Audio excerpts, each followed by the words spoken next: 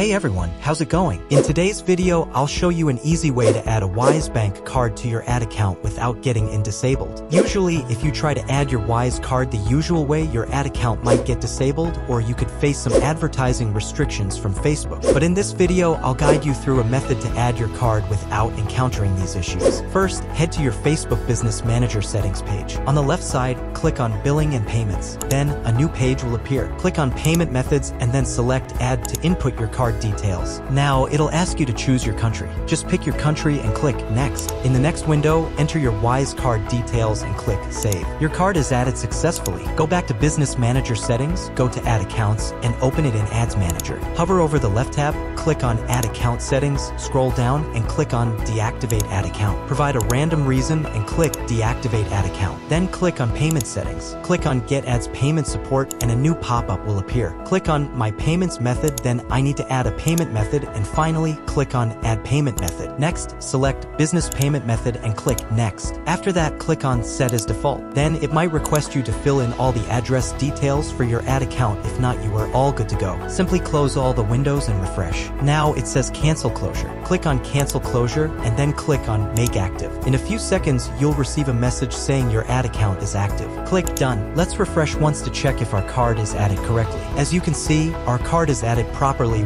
without getting disabled. That's it for this video. I hope you found it helpful. If you did, please subscribe to our channel and join our Telegram and Discord channels. You can find all the links in the description for easy access.